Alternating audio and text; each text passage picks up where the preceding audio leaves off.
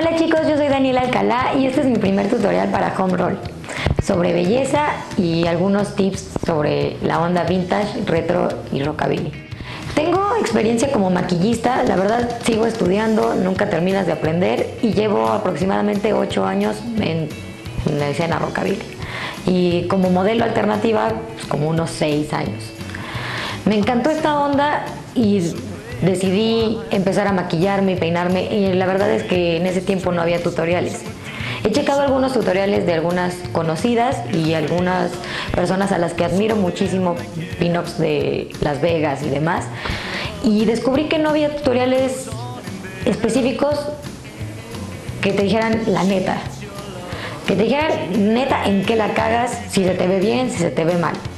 Tengo un estilo muy ácido y muy crudo de decir las cosas algunas veces, algunas veces soy un poco marica, pero me gusta más que sea así. Si no les agrada alguna de las cosas que digo, please, pónganlo en los comentarios y trataré de mejorar.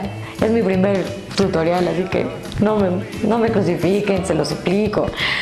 Espero les guste y vamos a hacer.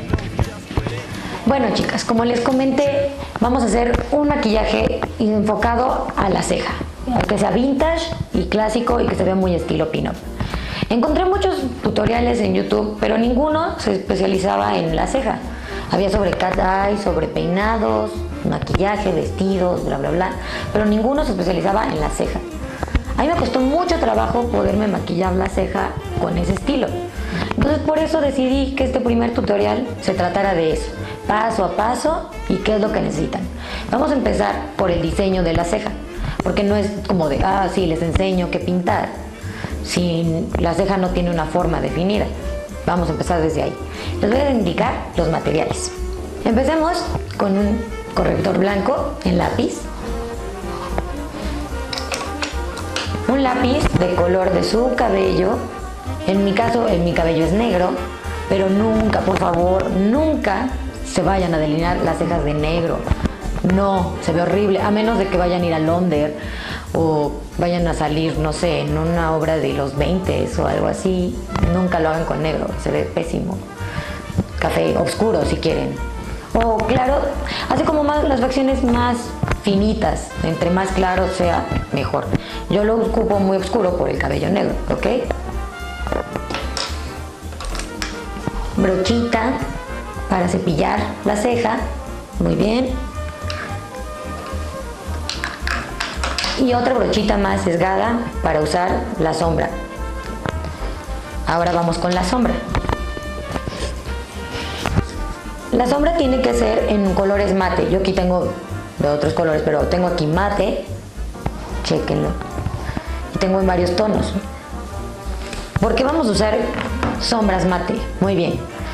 El lápiz tiende a ser un poco cremoso. Entonces, al momento de poner la sombra mate, encima para definir y sellar, vamos a lograr un efecto más natural.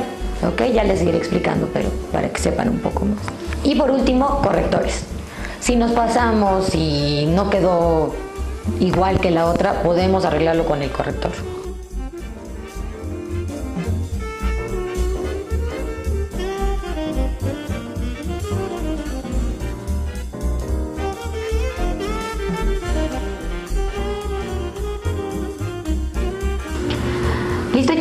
Yo ya me recogí el cabello para que puedan notar lo que voy a hacer y me hice una de las cejas.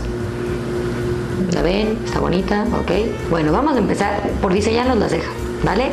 Listo. Con nuestro corrector blanco, con el lápiz, vamos a empezar desde el ala de la nariz hacia acá. Esa es la medida normal que debe de tener una ceja, ¿ok? Si su nariz está hasta acá, la ala de la nariz así de africano, no, no, no está chido, no, lo hagan. Sí, lógico. Pero bueno, obviamente tiene que ir como por aquí. Entonces ya que está aquí, justo vamos a marcar con un puntito, ahí está, y vamos a seguirnos en esa dirección. Yo tengo el, el piquito de esta ceja más adelante, pero para que quede igual que la otra, voy a jalar más aún. Entonces el punto que yo aquí más alto, que quiero que quede, va a ser aquí y de igual manera marcamos con el otro punto. Seguimos de ese punto al final. Por suerte yo ya tengo el cat eye hecho y eso ayuda bastante como a la medición, pero debería de quedar aquí.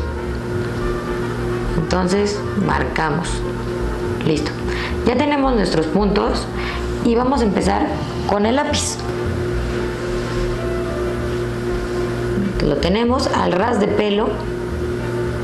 Ya después podemos alzarla, hacerla más gruesa, hacerla más delgada, pero al ras de pelo.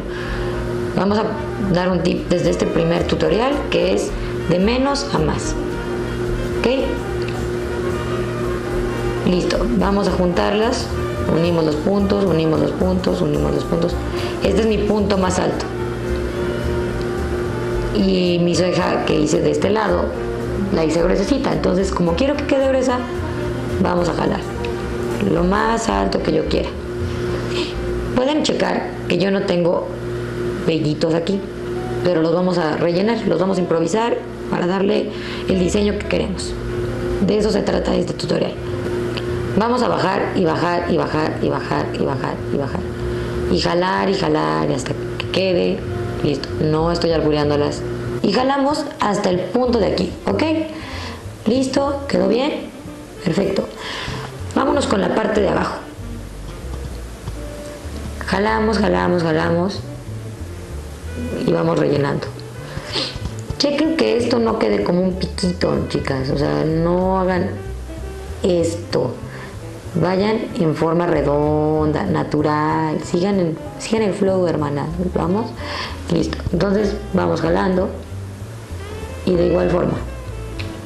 Al mismo tiempo que estamos haciendo esto, vamos rellenando la ceja y le vamos dando forma. Ya quedó la forma, pero no el grosor. Pueden checar que esta es más gruesa y esta. A veces la puedes dejar así delgadita y se ve súper bien pero como yo soy super drama queen, vamos a hacerla exageradamente de la tigresa del oriente, ¿no es cierto? Como de la doña, vamos. Listo. Entonces vamos a rellenar más y vamos a ingresar nuestra No tiene mucha ciencia, pero es mejor que lo practiquen.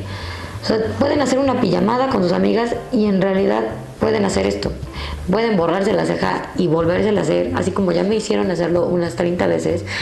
Bueno, igual y no 30 porque ya me arde, pero ustedes pueden hacerlo varias veces y practicar, practicar esta onda, porque en realidad la ceja es súper importante para un maquillaje vintage. Es muy importante, muchos se lo pasan por alto, no les interesa. A mí me llamó mucho la atención hacer un tutorial así porque cuando yo empezaba en esta onda no había nada. Y no sé si me jugaron una broma o, soy muy tonta, pero me dijeron que Edita Bonti se cortaba la mitad de la ceja, se quitaba la mitad de la ceja. Lo hice, lo hice, sí. Pasé un oso con mi novio en ese tiempo porque me desperté y pues, no tenía la mitad de la ceja, ¿no? Obviamente me dio para el taxi y no lo volví a ver. Entonces, listo, Queda de esta forma y vamos redondeando. Si se pasan por un poquito, tengan cuidado, háganlo despacio, no pasa nada. Tómense su tiempo, que les espere el mugroso de su novio. Al fin y al cabo ustedes van a pagar el taxi seguramente. Entonces, Si se pasan, tenemos correctores. Eso es la ayuda del corrector. Ayuda en todo. Quita ojeras, tapa barritos. Es mejor que Photoshop. Entonces, ya lo tenemos.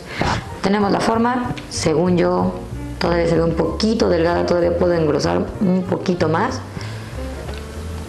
Y lo voy a hacer nada más para que vean que no me la dibujó alguien esa ceja, yo la hice. Siempre traten de que su ceja quede asimétrica. Si no, sí se van a ver un poquito ridiculitas y osazo de mi vida, ¿no? Listo. Pero tiene que dar redondito. Quiero que chequen como el efecto que le damos. Se ve natural y no se ve como de tatuaje de Acapulco, ¿no? De cejas. La sombra. La sombra mate para sellar como ese efecto brilloso que da el lápiz. Y va con nuestra brochita sesgada y es como para rellenar y dar como ondilla. Entonces empecemos. Tenemos la brochita ya con sombra y vamos a jalar. Esta brochita la amo así, la amo y la adoro porque ya tiene la forma, o sea, es mágica. Si ustedes la cagaron por alguna razón y esta brochita les va a hacer el súper paro. Y sobre todo en la punta, porque ya la dejan correr. Ya tienen todo hecho y ya hay maquillaje y ya queda la forma perfecta de la colita sin quedar temblorosa, sin que quede como chueca, o sea, pueden checar. Tomo de mi punto más alto, bajo. Si se pasaron, si quieren darle como luz, iluminar, vamos a usar los correctores. Perfecto.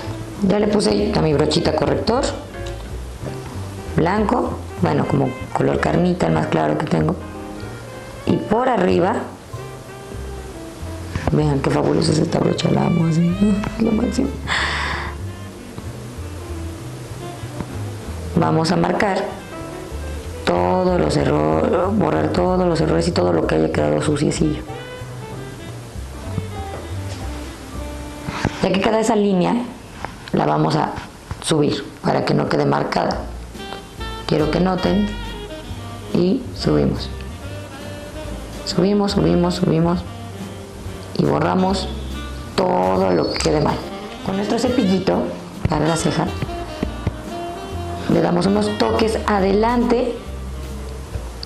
Me gusta que quede cuadrado, pero no me gusta que se vea como la línea del lápiz, o sea, ahí medio chafilla. Entonces con esto vamos a difuminar esas líneas de adelante. Que se vea el vellito como natural, que se vea... Que digan, ay Dios, si es tu ceja natural, claro. Entonces ya vamos a peinarla con unos toques más despacios en la parte del medio hacia afuera, despacio. Aquí sí pueden darse vuelo la hilachi, cepillarle chingón, como si estuvieran cepillando su pony, así, así, ¿ok? Le ponemos un poquito de iluminador. Puede ser una sombra clarita, o sea, brillosilla, así, buena onda. Ya la tenemos, esta de aquí, que es como brillosita, como tiene blanquita, no saben, nada madrina, así. Y toquecitos, chicas, toquecitos en esta parte, en el hueso. Da un efecto muy bonito, muy vintage y esto también lo pueden usar aunque no sean pin-ups y la chingada o lo que sea, también lo pueden usar. En realidad, ahorita está muy de tendencia esta ceja. Lo pueden usar en todo tipo de maquillaje. En realidad, este tipo de ceja ahorita está súper de tendencia en todos los maquillajes. Social y si van a ir a una boda también les va a quedar súper bien y les van a chulear muchísimo la ceja. Bueno chicas, eso fue todo por el día de hoy. Espero les hayan funcionado todas las hartas de estupideces que dije, aunque sea una se les haya quedado grabada y hayan dicho, bueno, de todas esas pendejadas que dijo Dani, pues sí me funcionó y lo voy a practicar. Pero bueno, si tienen más dudas, voy a estar dando talleres próximamente en un dinner de la colonia Roma, ya les diremos dónde. Voy a estar poniendo toda la información en mis redes sociales. Síganme en Facebook como Daniel Alcalá, es mi página. Voy a estar poniendo flyers y demás anuncios de cuándo van a ser los talleres, en dónde, cuánto van a costar y qué horarios, ¿vale? Entonces, síganos en el próximo tutorial de Home Roll. Eso es todo. Yo soy Daniel Alcalá y bye.